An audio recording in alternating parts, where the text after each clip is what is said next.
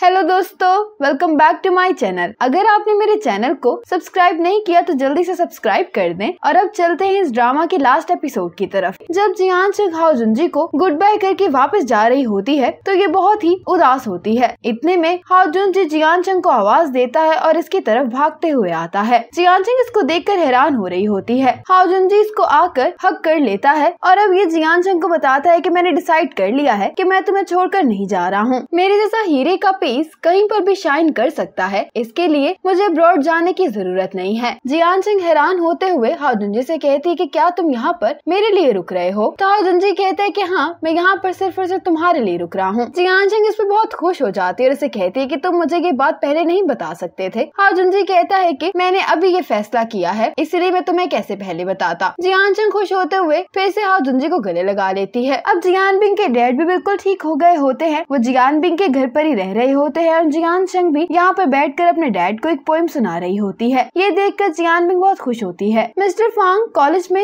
अपनी क्लास लेने के लिए जा रहे होते हैं कि यहाँ पर एक लड़की आकर रुकती है जो कि मिस्टर फांग से एक क्लास का पता पूछ रही होती है। मिस्टर फांग कहते हैं कि आप कौन है? तो ये कहती है कि मेरा नाम यीतुंग है और यहाँ पर मैं पढ़ाने के लिए आई हूँ। फंगू इससे अपना हाथ मिलाते हुए कहता है कि हम दोनों एक ही डिपार्टमेंट में है। क्यों ना मैं आपको आपकी क्लास तक ले चलूँ? तो ये लड़की यूतंग कहती है कि मुझे आपसे मिलकर बहुत खुशी हुई क्योंकि मैंने आपके बारे में बहुत सारी बातें सुन रखी हैं। अब हाउदन जी के अंकल यूतंग को अपने साथ क्लास में लेकर जाने लगते हैं और आपस में ये लोग जाते हुए काफ़ी बातें भी कर रहे होते हैं। अब जियान बिंग के घर पर शेंगेन आता है तो जियान बिंग जल्दी से शेंगेन को हक करती है और ये शेंगेन को अंदर लेकर आती है और इसको बिठाने के बाद इससे कहती है की मैं तुमसे एक सीरियस बात पूछने वाली हूँ। क्या तुम मुझसे कुछ छुपा रहे हो? शेंगेन कहता है की नहीं, मैं तो तुमसे कुछ नहीं छुपा रहा हूँ। जियान बिंग कहती है की आज मुझे बताने का बहुत अच्छा मौका है। तो शेंगेन कहता है की मेरे पास तो तुम्हें कुछ बताने के लिए है। ही नहीं। और वैसे भी मेरी जैसी पर्सनैलिटी है, मैं वैसे ही तुमसे कुछ नहीं छुपा पाता हूँ। जियानमिंग कहती है कि जिस विजुअल टीम के साथ मैं काम कर रही हूँ ना, उसका जो टीम लीडर है वो बहुत ही मिस्टीरियस है। मैंने उसके साथ दो प्रोजेक्ट कर लिए हैं, लेकिन अभी तक इस टीम का लीडर मुझसे मिलने के लिए नहीं आया है। मुझे सिर्फ़ यही बताया गया है की उनका टीम लीडर अक्सर ही ट्रेवल कर रहा होता है, इसलिए वो मुझसे नहीं मिल पाता। जियान बिंग बहुत सीरियस फेस बनाकर इसके पास जाते और पूछती है, क्या तुमने इस टीम के बारे में कुछ सुना है? शेंगन कहता है कि ये तो बहुत ही मिस्टीरियस सी बात लग रही है, मुझे लगता है कि वो कोई बहुत ही फ़ेमस इंसान है, इसीलिए वो अपनी आइडेंटिटी छुपा रहा है। और वैसे भी मुझे उसके बारे में कैसे पता हो सकता है? जियानमिंग इसका फेस पकड़ के कहती है की अब प्रिटेंड करना छोड़ दो, वो फ़ेमस इंसान तुम ही हो। शेंगन ये सुनकर हंसने लगता है जियानमिंग से पूछता है कि तुम्हें इसके बारे में कैसे पता चला? जियानमिंग कहती कि मुझे उसी दिन पता चल गया था, जिस दिन वो लड़का यांग मेरे पास इंटरव्यू देने के लिए आया था। क्योंकि तुमने जो उसको सिखा कर भेजा था, उससे ये पता लगाना बहुत ईजी हो गया था मेरे लिए कि ये तुम ही हो। शेंगन कहने लगता है कि मुझे पहले ही पता था कि मुझे उस पर रिलाय नहीं करना चाहिए और मैं पकड़ा जाऊँगा। जियानबिंग कहती है कि ये तुम कैसी बातें कर रहे हो? मैं तुम्हारे आर्ट स्टाइल को बहुत अच्छे से जानती हूँ। इसीलिए अगर मुझे इस बारे में पता चल भी गया है तो इसमें हैरानगी वाली कोई बात नहीं है। शेंगन कहता है कि मैं सिर्फ़ तुम्हारी मदद करना चाहता था। लेकिन जैसे तुम्हारी पर्सनैलिटी है, अगर मैं तुम्हें डायरेक्टली कहता की मैं तुम्हारी मदद करना चाहता हूँ तो तुम कभी नहीं मानती। तो फिर इसीलिए मुझे ये सब कुछ प्लान बनाना पड़ा। लेकिन इसमें मेरी कोई भी गलती नहीं है। अगर तुम्हें किसी को ब्लेम करना है तो तुम उस लड़के यंग को करो क्योंकि उसने अच्छी एक्टिंग नहीं की। जियानमिंग कहती कि मुझे लगता है कि तुमने कुछ ज़्यादा ही ड्रामास देख लिए हैं। शेंगन कहता है कि हाँ ये बात तो ठीक है और मेरे ड्रामा की फीमेल लीड तुम हो। अब इन्होंने आज रात अवार्ड शो में जाना होता है तो शेंगन जियानमिंग को अपना हाथ देता है, कहता है की चलो, हम दोनों मिलकर अब अवार्ड पर चलते हैं। जियानमिंग कहती की क्या तुम इन कपड़ों में जाओगे? शेंगन कहता है की मैं कोई स्टार नहीं हूँ और वैसे भी कोई फ़र्क नहीं पड़ता, मैं जो भी पहनूं। जियानमिंग कहती कि नहीं मेल लीड का भी हैंडसम दिखाई देना ज़रूरी होता है। जियानमिंग इसका हाथ पकड़ के कहती कि मेरे साथ आओ, मैंने तुम्हारे लिए कुछ कपड़े सिलेक्ट किए हैं। आज यूथ एडवर्टाइजिंग प्रोडक्शन कंपटीशन होता है। यहाँ पर बहुत सारे फ़ेमस लोग भी आ रहे होते हैं। अब यहाँ पर एंट्री होती है पेन और सोंगचन की, जो कि बहुत ही प्यारे लग रहे होते हैं। पेन अब सोंगचन को इंस्ट्रक्शन दे रही होती है की तुम्हें कैसे बिहेव करना है और कहती है की तुम्हें ऐसे एक्ट करना होगा, जैसे तुम यहाँ पर पहली दफ़ा नहीं आए, बल्कि तुम आते ही रहते हो। अब एंट्रेंस पर शेन भी आकर खड़ी हो जाती है और यहाँ पर एक शख्स बाइक पर आता है, जिसे शेन बहुत गौर से देख रही होती है। जब ये अपना हेलमेट उतारता है तो ये और कोई नहीं, बल्कि शू होता है, जिसको देख कर शेन बहुत खुश हो जाती है। फिर शेन और शू खुशी खुशी अंदर चले जाते हैं। अब सोंगचन और पेन यहाँ पर आकर अपने साइन कर रहे होते हैं और इनकी भी बहुत सारी पिक्चर्स खींची जा रही होती है। इसके बाद साइन करने के लिए शू और शेन साथ में आते हैं और अब एंट्री होती है जियान बिंग और शेंगन की और ये दोनों वाकई में बहुत खूबसूरत लग रहे होते हैं। अंदर आते हुए जियान बिंग शेंगन से पूछती है कि क्या तुम नर्वस हो? तो शेंगन कहता है कि मैं भला नर्वस क्यों होऊँगा? जियान बिंग कहती है कि हम इतने मेन इवेंट में हैं और तुम्हें नहीं लगता कि कपल्स हाथ पकड़ कर अंदर अंदर आते हैं तो शेंगेन फिर जियान बिंग का हाथ पकड़ लेता है। फिर ये दोनों भी आकर इस वॉल पर अपने साइन करते हैं। यहाँ पर शेन भी होती है और ये जियान बिंग को देखकर दूर से ही हाई कर रही होती है तो जियान बिंग भी इसको हाई कहती है। जियान बिंग यहाँ पर शू को देखकर भी खुश होती है। शेंगेन की मॉम के पास इसकी नेबर आकर बैठी होती है, जो की शेंगेन के लिए कुछ लड़कियों की तस्वीरें लाई होती है। और शेंगेन की मॉम से कह रही होती है की शेंगेन अब थर्टी ईयर्स का हो गया है और उसको शादी कर लेनी चाहिए। मोम की तस्वीरें देख रही होती है तो ये अपनी नेबर से कहती है की मुझे नहीं लगता की शेंगेन को इनमें से कोई भी लड़की पसंद आएगी क्योंकि ये सारी एक तरह की ही दिखाई दे रही हैं। और फिर शेंगेन की मॉम अपनी नेबर को बताती हैं कि एक्चुअल में शेंगेन की गर्लफ्रेंड है। तो ये नेबर कहती हैं कि फिर तुमने मुझे पहले क्यों नहीं बताया? तुमने बिला वजह ही मेरा वक्त जाया कर दिया है। शेंगेन की मॉम कहती है की तुमने मुझसे पूछा ही नहीं और तुम मुझे बस जल्दी ऐसी पिक्चर दिखाने लग पड़ी। तो मैं भला तुम्हें पहले कैसे बताती? और फिर ये नेबर बहुत क्यूरियस होकर शेंगेन की मॉम ऐसी पूछती है की शेंगेन की गर्लफ्रेंड की एज क्या है? और वो क्या करती है? क्या तुमने उसे पहले देखा है? शेंगेन की मॉम कहती है की मेरे लिए मैटर नहीं करता की मैं उसको पसंद करती भी हूँ या नहीं? तो नेबर कह रही होती है की ये भला कैसी बात है। इतने में शेंगेन के डैड भी यहाँ पर आ जाते हैं। शेंगेन की मोम अपनी नेबर से कहती है कि अभी कुछ ही देर में अवार्ड सेरेमनी शुरू होने वाली है और तुम टीवी पर शेंगेन और उसकी गर्लफ्रेंड को देख पाओगी। इतने में शेंगेन के डैड कहते हैं कि अवार्ड सेरेमनी के शुरू होने का टाइम हो गया है और फिर जल्दी से ये टीवी ऑन करते हैं। और फिर अवार्ड की अनाउंसमेंट होती है कि इस साल का बेस्ट डायरेक्टर का अवार्ड जियान बिंग को जाता है। ये देखकर शेंगेन सोंगचन और पेन तो बहुत ही खुश होते हैं और ये जियान बिंग के लिए क्लैपिंग करते हैं। शेन और शू भी जियान बिंग के लिए बहुत खुश दिखाई दे रहे होते हैं। जियान बिंग दूर से ही शेन को फ्लाइंग किस देती है। शेंगेन के मॉम डैड भी घर पर जियान बिंग को अवार्ड जीतता हुआ देखकर बहुत खुश दिखाई दे रहे होते हैं। इनकी नेबर को तो समझ नहीं आ रहा होता की क्या हो रहा है और फिर ये शेंगेन की मॉम ऐसी पूछती है की ये कौन है। तो शेंगेन की मॉम बहुत खुशी ऐसी टीवी की तरफ़ इशारा करती है और कहती है की ये मेरी डॉटर इन लॉ है। और इनकी नेबर भी बहुत खुश होती है की शेंगेन की गर्लफ्रेंड तो वाकई में बहुत इम्प्रेसिव है। जियान बिंग अवार्ड रिसीव करने के बाद सबको थैंक यू करती है और कहती है कि ये अवार्ड मेरी कंपनी के लिए बहुत अहमियत रखता है, क्योंकि जियान ये कंपनी ने इस साल बहुत सफ़र किया है। जियान मिंग सबसे पहले उनका शुक्रिया अदा करते हैं जिन्होंने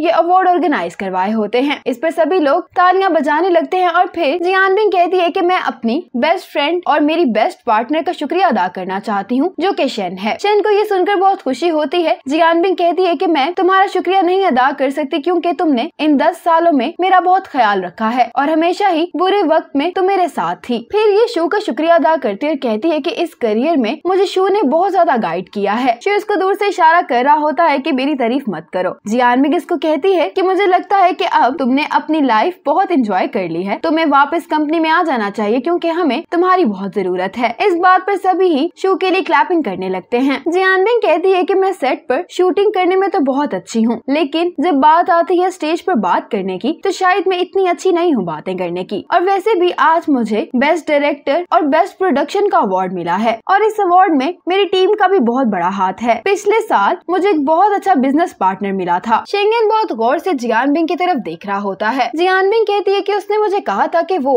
चाहता है कि वो अपने डिज़ाइन के थ्रू लोगों को इंस्पायर करे और वो इस दुनिया को एक बेहतर जगह बनाने में अपना पार्ट प्ले कर सके। जियान बिंग शेंगेन की तरफ़ देखते हुए कहती है कि तुमने ऐसा कर दिया है, क्योंकि तुम मुझे इंस्पायर और इन्फ्लुएंस करने में कामयाब हो गए हो। शेंगेन जियान बिंग को अपने बारे में ये सब कुछ कहता हुआ सुनकर बहुत खुश दिखाई दे रहा होता है। उसने मुझे ये भी कहा था कि एक डायरेक्टर टीम की आत्मा की तरह होता है, लेकिन इस फ़िल्म की जो भी इंस्पिरेशन मुझे मिली है, वो उससे ही मिली है। इसलिए मुझे नहीं लगता कि मैं अकेले ये अवार्ड रिसीव कर सकती हूँ। इसलिए मैं हमारी कॉपरेशन टीम से शेंगेन को बुलाना चाहती हूँ ताकि वो यहाँ पर आकर स्पीच दे। शेंगेन ये सुनकर एक लम्हे के लिए हैरान हो जाता है और सोंग चेन इसके स्टेज में जाने पर मदद करता है। अब जब शेंगेन के मॉम डैड इसको स्टेज पर आता हुआ देखते हैं तो ये तो और खुश हो जाते हैं। और शेंगेन की मॉम डैड से कह रही होती है कि हमारा बेटा कितना हैंडसम हो गया है। शेंगेन स्टेज पर आता है तो जियान बिंग कहती है कि कुछ कहो। तो शेंगेन कहता है कि तुमने सब कुछ तो कह दिया है, अब मैं क्या कहूँ? जियान बिंग कहती है कि लेकिन फिर भी तुम्हें कुछ तो कहना ही होगा। शेंगेन कहता है कि मैं सबसे पहले जियान के एडवर्टीजमेंट स्टूडियो का शुक्रिया अदा करना चाहता हूँ क्योंकि उन्होंने मुझे बहुत सपोर्ट किया है। और इससे भी ज़्यादा मैं मोजेज एडवर्टीजमेंट और मेरे बेस्ट पार्टनर पेन और सोंगचन का शुक्रिया अदा करना चाहता हूँ। इस पर सोंगचन और पेन दोनों ही हंसने लगते हैं। शेंगेन कहता है कि तुम दोनों के बगैर मैं आज यहाँ पर कभी भी नहीं होता। शेंगेन जियान बिंग की तरफ़ न फेस करता है कि तुमने मुझे बताया था कि एक आर्मी जनरल के पास तलवार होती है, लेकिन वो उससे मक्खियों को नहीं मारता। हमें अपना टाइम बेमकसद चीज़ों पर जाया नहीं करना चाहिए। जो कुछ हमारे साथ बुरा हुआ है, जब हमारे पास अथॉरिटी आए तो हमें वो सब चीज़ें दोहरानी नहीं चाहिए। अब शेंगेन जियान बिंग का नाम लेता है। सभी लोग इनकी तरफ़ देख रहे होते हैं कि अभी शेंगेन क्या करने वाला है। शेंगेन जियान बिंग से कहता है कि तुमसे मिलना बोलना मेरी ज़िंदगी की सबसे बेस्ट चीज़ है। पहले तुम प्यार को मैराथन रेस से कंपेयर किया करती थी। तुमने कहा था कि दो लोग जिनकी स्पीड अलग होती है, आहिस्ता आहिस्ता एक दूसरे से दूर हो जाते हैं। लेकिन मुझे लगता है कि मेरे लिए ये बात ज़्यादा अहम है कि जब मैंने दौड़ना शुरू कर दिया तो फिर मैं कभी भी इस पर पछताऊँगा नहीं। चाहे मैं बहुत आहिस्ता भागूं या बीच में थक जाऊँ और यहाँ तक के मैं और भाग भी ना पाऊँ तो मुझे नहीं लगता कि किसी को छोड़ने के लिए ये वजह काफ़ी है। क्योंकि इस रास्ते पर मेरा एक ही गोल है कि मैं तुम्हारे साथ एंड तक भागना चाहता हूँ। शेंगेन का ये कन्फेशन सबको ही बहुत अच्छा लग रहा होता है। शेंगेन और जियान बिंग अब एक दूसरे को देख रहे होते हैं और फिर जियान बिंग आगे बढ़ती और शेंगेन को गले लगा लेती है। ये दोनों यहाँ पर बहुत ही खुश होते हैं। शेंगेन के पेरेंट्स ये देख कर खुश हो रहे होते हैं और डैड कहते हैं की आज ये दोनों पूरी दुनिया के सामने अपने प्यार का इजहार कर रहे हैं। शेंगेन की मोम तो ये देख कर इमोशनल हो जाती है और कहते हैं की ये दोनों साथ में कितने अच्छे लग रहे हैं। तो डैड मोम को तंग करते हुए कहते हैं की इन दोनों के साथ होने पर ड्रामा किसने किया था? तो मॉम कहती है कि किसने किया था तो डैड हँसते हुए कहते हैं कि मैं इनके खिलाफ था। तो मॉम कहती है कि फिर आप गलत थे। तो डैड भी हँसते हुए कह देते हैं कि हाँ हाँ मैं ही गलत था। आज तो डैड को बहुत ही प्राउड हो रहा होता है कि शेंगिन इनका बेटा है। शेंगिन और जियान बिंग की ये अवार्ड सेरेमनी हाउ जुनजी और जियान संग भी देख रहे होते हैं। हाउ जुनजी और जियान संग रोड ट्रिप पर आए होते हैं। ये देखने के बाद हाउ जुनजी जियान संग को किस करता है और फिर ये दोनों हेलमेट्स पहनकर अपना रोड ट्रिप कंटिन्यू करते हैं। और दूसरी तरफ़ जियान बिंग और शेंगेन तो एक दूसरे को देखे जा रहे होते हैं और हंस रहे होते हैं। सभी ऑडियंस इन दोनों को देखकर बहुत खुश होती हैं। और यहाँ पर शिव और शेन और साथ में सॉन्ग चैन और पेन भी बहुत खुश दिखाई दे रहे होते हैं। इसी हैप्पी मोमेंट के साथ हमारा ये ड्रामा यहीं पर खत्म हो जाता है। आपको इस ड्रामा की कहानी कैसी लगी? कमेंट सेक्शन में ज़रूर बताइएगा। इस ड्रामा को इतना पसंद करने के लिए आप सबका बहुत शुक्रिया। इसी तरह के इंटरेस्टिंग ड्रामास की एक्सप्लेनेशन के लिए स्टे कनेक्टेड